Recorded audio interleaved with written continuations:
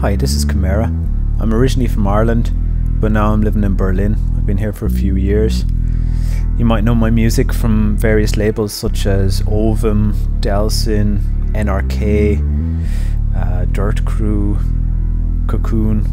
I make house and techno, and most of it is very melodic. I would say that's the trademark of my music. I love melodies and I love emotion. So, in this tutorial I'm going to show you how to make a, very emotional melodic techno slash house track. I don't really know how to put it into a genre exactly, but it's it's something like that.